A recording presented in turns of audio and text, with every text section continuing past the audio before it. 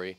You guys saw it on the previous video or the previous podcast if you're on YouTube. What is going on, guys? Welcome back to another episode of Bogan Every Podcast where we talk about anything and everything from faith, finance, and fitness, the things that life throws at us. If you're on YouTube, I would ask if you could just subscribe to the channel. It would be highly appreciated. It helps out tremendously with the algorithm. If you are on Spotify, I would ask if you could follow us and give us a rating as well. If you're on Apple Podcasts, be sure to follow us and give us a rating as well. If you have Instagram, what are you doing? Follow us on Instagram at Bogan Everywhere Podcast, at Bogan Everywhere Podcast. So, guys, as you know, right now at this very moment in the recording of this video, I am in Rome, Georgia.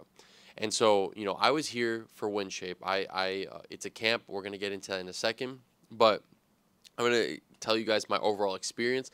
I've been here for about I think three months, two and a half, three months around there. Um, I'm gonna tell you about my experience. I'm gonna tell you about what what WinShape is. I'm going to tell you what I didn't like. I'm going to tell you what I did like. I'm going to tell you what God taught me, as well as what God gave me, and, and how um, He He helped me, and how He has grown me in this season of my life. Now, first of all, what is WinShape Camps? So, WinShape Camps was actually founded by Truett Cathy. He is the founder. Um, he has passed away, but he is the founder of Chick Fil A. Chick Fil A, as you know, is a Christian company. Um, they have been a little bit woke to my knowledge recently, but um, when it was originally uh, rooted on good findings, on good morals, on good foundations, um, it was founded by Truett Cathy. Truett Cathy is a Christian entrepreneur, and he always put God before everything else. Um, and he and he put an emphasis on that. He didn't force his beliefs upon anyone, but he did put an emphasis on um, a Christian based business, right? So WinShape Camps was founded by him. And so what he would do is he would use that as a form of ministry um, to start what is now WinShape Camps. Now, WinShape, or the WinShape Foundation, I, sh- I should say, the WinShape Foundation has multiple different forms of ministry in and of itself. And I'm going to read them to you. It, so some of the ministry programs that they have include summer camp activities, team and leader development, uh, foster care, college leadership programs, and marriage enrichment. And so they have different types of campus or ministries, different types of things. I was specifically in the camp world um, in regards to that. And so just the camp world has so many different camps across the country. Um, they have some in, I think, Alabama, Florida, Georgia, um, and so I and there's like two different areas that that some friends and I decided to do. It was either Cleveland, Georgia, or uh, Mount Berry, Georgia. So I was in Mount Berry, Georgia specifically, um, and so it's the boys' camp. It's a boys only camp, and so um, you know that's where I, I saw myself to be. That's where the Lord at least told me to be. So a little bit about the camp. So um, they have different types of camps. There's WinShape boys. There's WinShape girls. Uh, there's WinShape Communities, and then there's WinShape, WinShape International. WinShape Boys Camp is basically they have a couple areas um, within the country, I believe. WinShape Girls as well is is a couple different areas in Georgia as well specifically. And you know, WinShape Communities was where basically you get to travel across um, the country in the states specifically Florida, Georgia, and Alabama. And WinShape Communities is actually where you get to um, travel um, to either I think it's Costa Rica or Brazil where they have international camps as well. So it's really cool um, just the different types of locations and the different forms of ministry that they have in regards to this. A couple things about WinShape as well that are pretty cool. One is that they book and they, they take care of your flights, uh, the mileage for your driving if you choose to drive. They take care of literally everything your food, your shelter, all the basic needs, they have it covered. It's on them. Another thing, too, is that it is the number one highest paying job in, or not job, it's the highest paying camp in the states. You won't find a camp that'll pay more, that'll pay better um, than what they do here. I, I do love how they, they you know take care of your basic needs, um, and on top of that, they they compensate you for your time. And, and I think it's pretty cool how there's opportunity here. You know, you can do there's literally all types of positions during the summer. There's you know videographer, photographer. You can be a speaker. You can be a counselor. You can be so many things that they have. The, the list literally goes on and on in regards to the positions that they have here specifically, whether it's a leadership position or it's just to be a counselor. In regards to how I got involved, so one of my best friends, his, his name's Knox. We've had him on the podcast like three different times. He, um, you know, was just plugging it and out there, and he was sharing it. And he had done WinShape for like I think three years or something, um, or three summers prior.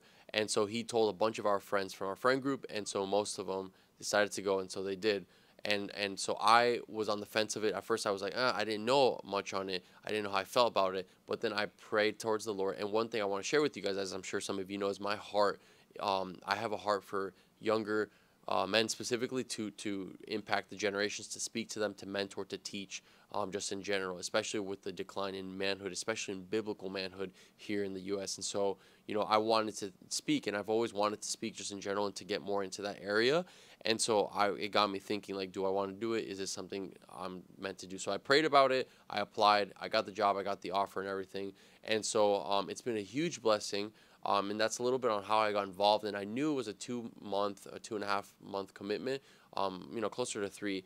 But I knew that it was well worth it. And this is something that I wanted to fully be obedient towards the Lord and trust Him and let Him know and, and to run towards Him specifically. And so, in regards to that, I was like, hey, like, I, I trust God and I'm going to run towards God. And don't get me wrong, there have been temptations on me just wanting to quit or, or, you know, listen to the lies of the enemy, believe the lies of the enemy and be like, oh no, it's not meant for you.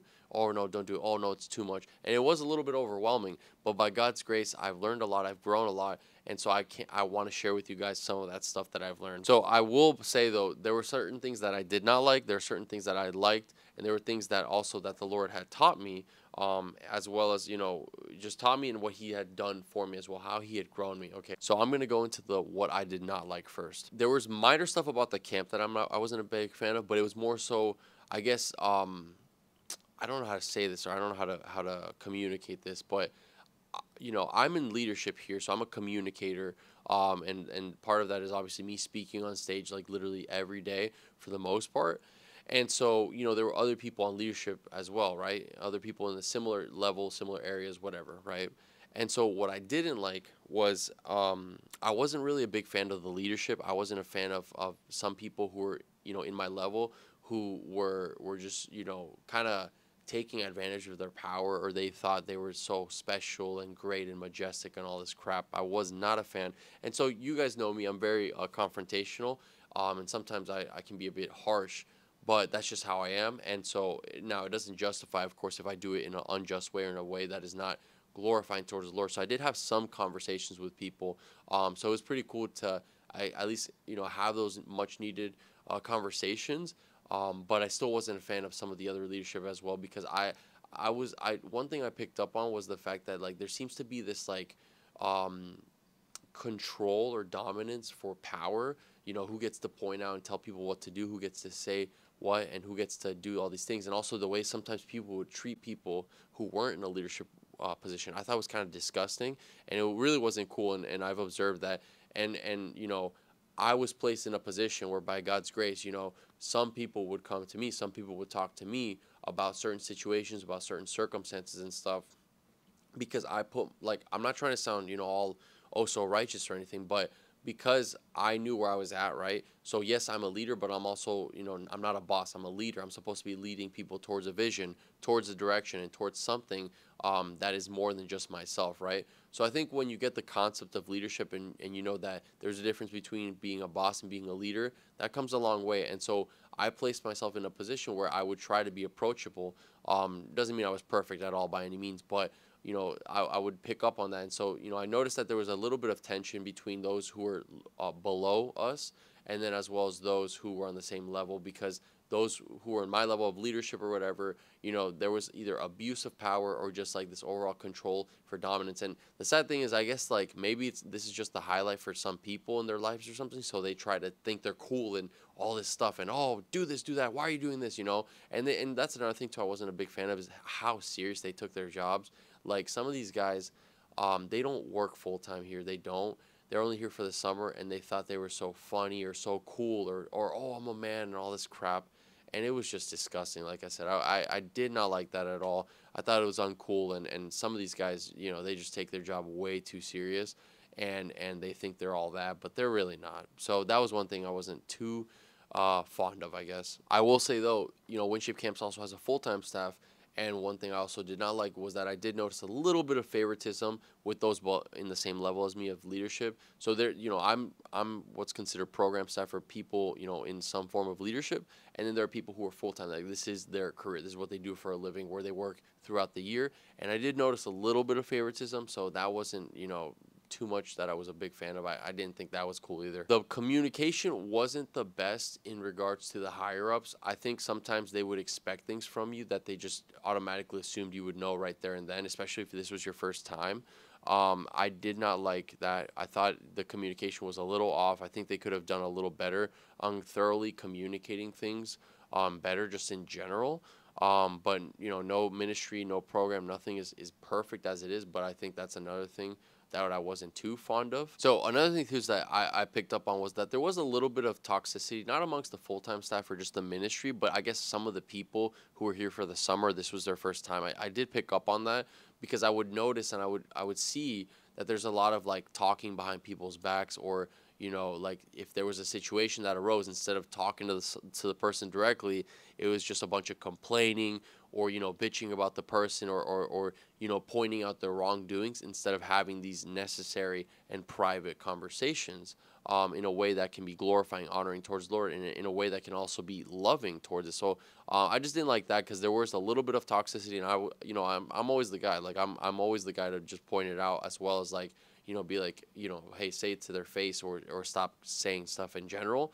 Um, so I didn't like that because it wasn't just the fact that there was complaining behind other people's backs. It was also the fact that, you know, I noticed that when there was a wrong or there was a situation that arose or whatever, um, and, but then they saw him in person. It's like a smiley face and acting all cool and stuff. And I'm like, what's up with that? Like, I, I didn't like that. So that was, that was kind of gross too. Now, the last thing here was I kind of felt more of a performance than a, a form of glorification or honor towards God, if that makes sense. I feel like, you know, some people were more focused on the details um, of how things were to be run or th- how things were to look just for the appearance and not for, hey, let's do this for God kind of thing. Um, sometimes we wouldn't really start off with prayer. Sometimes we wouldn't really do things according, at least that's the vibe I picked up off. Like, we wouldn't really do things according to the thing for the Lord. It was just more so like, hey, let's do this, you know, let's look great, let's do good and, and kill it. Whether it was speaking, whether it was, you know, music, whether it was some of the events or the games that went on, um, stuff like that. I was not too fond of that. Um, just because like you know first corinthians it's literally like one of the things we, we talk about all the time first corinthians 10 31 uh, whether you eat or drink, whatever you do, do it all to the glory of God, right? So we're to do it to the glory of God, not of man, not of people, but of God. And I felt like sometimes there wasn't always an overall focus of things for the Lord, if that makes sense. Now, that those are just some of the things I didn't like, but here's the thing: some of the things that I did like, that I just loved about the camp. First of all, it's a really fun environment. It's a really great environment, while also revealing and talking about the importance of having Christ at the center of everything.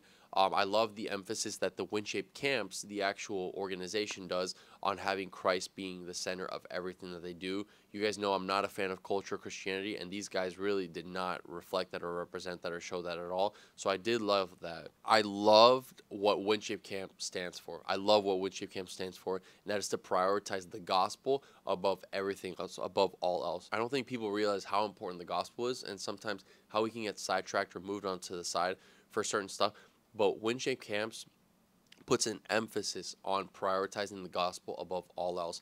And that was super important. I love how how the focus was there about the gospel because I think it is super important to know that the gospel comes first before anything else. And so I love how they prioritize the gospel as well as sharing it with the kids, sharing it with the campers specifically. I thought was a huge blessing to be a part of and to acknowledge. Another thing too is everything that they do is for the mission of Christ. Absolutely everything they do. I think it's super important because um, it's more than just a summer camp for fun. It's more than just hanging out or, or social gathering or meeting new people. It's like, it, no, it literally is the mission for Christ. And I think WinShape Camps does a great job on making sure it's important to know that Christ comes before everything and as well to share that with non believers as well and how important it is to have a spiritual impact on these campers as well because they, we could possibly be their only source of actually ever, ever, getting to know who God is or anything. And I love how WinShape Camps, you know, puts that out on top and they put that at, at first. Another thing too that I loved about the camp specifically, I guess under that because the camp didn't really do much on this, was I met a lot of amazing people. You know, I told you that there were some douchebags, um, you know, in the in the in the other leadership part. But you know, while that sucked, I met some amazing people. I met some awesome people who truly have a heart for Jesus and who truly are biblically founded men. Um, and I, I loved how there was times of joking, there was times of working, all this stuff, but there was also times of serious conversation, getting to know people better, their stories, their background, their testimonies and stuff. And I think it's super awesome seeing different walks of faith, but also still walking towards the Lord, if that makes any sense. And so I met a lot of amazing people, a lot of biblically founded people, a lot of people that I can truthfully say, you know, through the, sermon and the way they act, that these are men of God. Like these are men who truly who truly seek out God, His kingdom, and His righteousness first. And I've met a lot of those biblically founded men. So that was a huge blessing as well. Another thing too that I really loved is the standards and the protocols that WinShape camps would do to protect children specifically.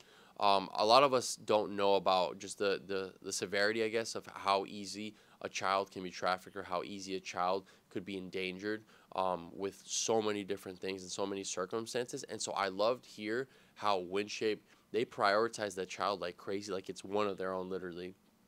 So what I love about that is just how they they take these standards and they they they really prioritize the safety and all the protocols they do to take um, in regards to uh, just make sure that the child is safe, saved, saved. Oh my gosh, I'm sorry, is safe.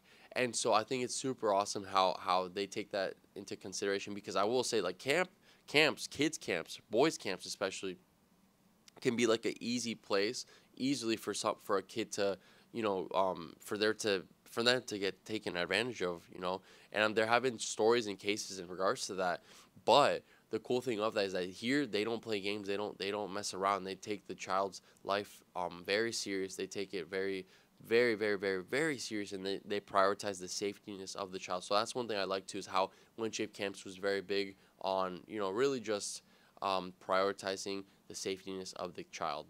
So here is what the Lord has either taught me or done for me in the, the past two and a half months, the past three months here at WinShape Camps. One thing he has taught me slash put an emphasis on is patience with people. So patience with people meaning, you know, learning that not everyone thinks like me, not everyone works like me, not everyone has the same mindset or the same, I don't want to say heart, but the same view as me and that's okay that's okay because you know ultimately when when we're just you know if we think right that we should always work with those or do stuff with those who think just like us sometimes that can be dangerous because then you only know what you know right you don't know what other people may know. And sometimes it's good to be different. Sometimes it's good to be the dumbest person in the room because of the fact that, you know, not everyone thinks like you. And sometimes there are different ways of doing things. It doesn't always have to be your own way. So the Lord has taught me, you know, through other people, um, really that not everyone thinks like me. Not everyone does things the same way I do but it's okay because at the end of the day like there's different forms of ministry there's different forms of of you know running towards god but the important thing is to run towards God, to have value in knowing that it is all for the Lord and towards the Lord. So no matter how, what way is done or how it's done, it's okay because God is what comes out first. God is number one, or at least He should be. Another moral thing or character flaw or whatever you want to call it that God has taught me was to not be so quick to judge. So you know, I have a bad habit sometimes, and I'm I'm being real with you guys. Like I have a really bad habit habit of like internally judging someone. So if someone looks a certain way or someone talks a certain way or someone does something off that that to me may seem off, I'm very quick to judge or make assumptions on that person's character, who that person is.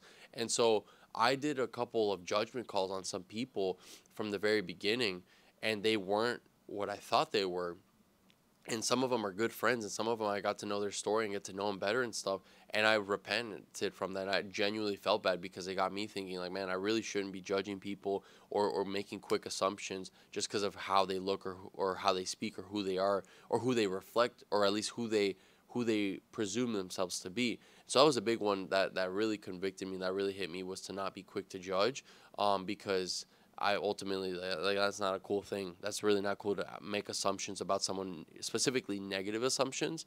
And so that was another thing too that the Lord had taught me in regards to that. Something too that the Lord had taught me was how to be an intentional leader. So I've always been drawn towards leadership in general, but to be intentional. And what that looked like for me was to like talk to people specifically, get to know them better, know their stories, and also listen to them. Really, just not say anything, but just listen to them, hear them out, and hear where they're coming from. So he taught me very well um, to be an intentional leader, right? And to be good, yes, but to always have an, a listening ear and sometimes not always speak or sometimes not always respond to, but really to just be intentional. And I think a lot of times people think leadership means to have the right answer or to do the right thing or to point people on where to go. But sometimes leadership starts with just listening to someone and, and responding in kindness by just listening, not saying anything. This is a big one right here. Um, the Lord has taught me how to be a better speaker and how to speak to children specifically. So what I mean by that is like, you know, kids are great. Um, you know, the Bible talks about how uh, children are inheritance or a gift from the Lord. And so I there's just something about certain kids that I'm just like, man, that's an awesome kid and stuff. And then sometimes there are kids who are just like they make you want to pull your hair and, and give you gray hair. But it, he really did teach me how to like be more patient, how to listen, how to observe, how to um, really just be better with kids in general. Because I've never had problems with kids. It's just more so like I guess um, sometimes I'd be quick to lose my temper or lose patience or whatever, but to respond in love and to actually act out in love as well. So he did teach me how to speak towards kids specifically um, you know, how to be more patient with them. And speaking of speaking, he also taught me how to be a better speaker. I've taken notes. Um, I'm so excited because I did uh, record my messages and stuff, so I'm excited for you guys to see and to listen to them. But he also taught me very much how to how to um, always like be a better speaker as well as like always prioritizing the word of God first and not just having a motivational speech. So that was a big thing too. That was a huge blessing because that was my that's literally what I signed up for is to be a speaker. Um, you know, for the sessions and stuff. And I'm like I said, I'm super excited for you guys to listen to it. So here are the some some of the things that the Lord had done for me specifically. Okay, first and foremost is to have a thirst and a desire to read His Word again. So what I mean by that is you know, by God's grace, I have this desire of memorizing scripture. And I've been able to memorize a few verses throughout the summer and stuff. But I love how I was able to, you know, have that desire again because of God and God alone. You see, the few months leading up to WinShape, I was anxious. I was a bit overwhelmed because I had a lot of stuff going on. And, you know, because of that, I kind of like pushed out or pushed aside the word of God, right? Um, not that I wanted to, because I wanted to read God's word, but I just didn't intentionally do it. And I would pray and I would pray and I would pray and I would ask God, God, please give me the desire to read your word. Please give me the desire for scripture. Please help me, God. And I would sometimes under not understand why God wouldn't do it. But for some reason, I don't know how to explain it, but something hit me this summer of like, you know, reading his word, reading his word and being intentional and like really having the right heart posture and the right um, interest at heart to read God's word. And so by God's grace, like I have that desire and I have that thirst. And I'm sure there's going to be times and seasons again where I'm just not going to want to do it. But, you know, by God's grace, like I'm able to have that uh, thirst because of Him, because I've been praying and, and, I have it. And I, you know, right now I'm in Isaiah and I'm in a couple stuff in the New Testament. But like I have this thirst and I have this desire to read the word of the Lord. So that's been a huge privilege and a huge blessing. Another thing too, being here that God God has done for me in a way is really to slow down, to take a breath, and to focus and to enjoy each and every minute and second of every day. Um, I don't know how to explain it, but like I've like this summer has been slow, but in a good way, and so I've been more focused on the present, more focused on my day to day you know endeavors, more focused on what the tasks are beho- before me, and to focus on them and to endure them and to you know finish strong and to focus truly on what you know there is what what is going on sort of thing. Like what do i have to do right? But to focus and to slow down to relax and to not be next thing next thing next thing but no relax right? To live day by day. So that's been a huge blessing. Another thing too that god has done for me was really to remind me to be faithful towards him and to run towards him first. So i'll give you an example. There was one day where we have we have this thing called rest time here and it's in the name you rest during that time and so i had rest time and i, I woke up but i was so tired and i was so drained i was like man i don't want to talk to anyone. I don't want to do anything right now. Like I just want to mind my own business and do my own thing. So I had to get plugged in though with one of the with one of the campers groups, and so you know what stemmed from that was I was there and I was just like not having it. I was so tired. I didn't want to do anything. I didn't want to talk to anyone. But I just remember running. God reminded me of this. I ran to Him first, and I was like, Lord, I'm so tired right now. Lord, I need you. God, please give me strength. Please give me endurance. Please help me, Lord, because I can't do it on my own. And I need you, God. I need you right here, right now, especially in this very moment. And I kid you not, the Holy Spirit like slapped me in the face and gave me this energy that I don't know how to explain. That just burst out of nowhere. And I was talking to the campers. I was getting plugged into the activities. I was running around doing like you know these extra not exercise these like the sports games and stuff. And it was only by God's grace. And so He taught me, hey, my child, my son, run to me first. Run to me first. ask me first. Go to me first. And so in that very moment, the Lord was faithful to do that. He was faithful and he reminded me to run to him first. And so that was one thing too that God had done for me to remind me to run towards him first. Now, I had to sacrifice a lot to be here because this was two and a half months of commitment, of time, of a lot of things. But here's a couple of things. One, I do not regret it at all. I do not regret it all because this is something that I needed. This is something that the Lord allowed. This is something that the Lord planted clearly from the beginning. And so I do not regret the time that I've spent here. I do not regret at all making the choice to be here. It has been nothing but a huge blessing, a huge learning stone for me, and as well as a huge moment of revelation of how I can improve as a person, how I can improve, I, how I can improve as a leader, and how I can improve most importantly as a follower of Christ, right? So that's been a huge blessing because I've learned a lot being here. I've met amazing people, I've met great people, and I love, like I said, what WinShape Camps stands for. I love what they represent. I love the importance and the emphasis they put on Christ. Now, will I be here next year? I don't know. I don't think so, um, unless if God says otherwise. But it's still been a huge blessing because I just remember, you know, when I graduated high school, like I've always wanted to be at a sleepaway camp to work at one specifically, um, and to be a part of it. And so I'm at an age right now where I'm 22, so it's like I'm at I'm at the cutoff point. Um, so I, I I made it, but I'm I'm just you know so thankful for the opportunity that I've been uh, that I've been at to be able to be here, to be able to do this, and to partake in this. So huge blessing um, in regards to that. Um, I will cherish these moments forever. I will enjoy it, and I will, you know, cherish the friendships that I've made here. And it's been a huge blessing, and and I'm just excited to go back home, though, to get back home, to to go back to work, and to to you know continue life, and to continue moving um, where the Lord wants me to be, and where He has me at specifically. Thank you guys so much for listening to this podcast. Um, I would recommend, and I would encourage you guys too. Honestly, if you're if you've just graduated high school or you're 18, like I would encourage you guys to look into uh, working at WinShape Camps. I think it's a phenomenal place, um, especially if you just graduated high school. So definitely look into that. But with that said, you know, guys, if you could subscribe if you're on YouTube, follow us on Spotify, follow us on Instagram, follow us on Apple Podcasts as well. Thank you for listening. Thank you for taking the time to do this.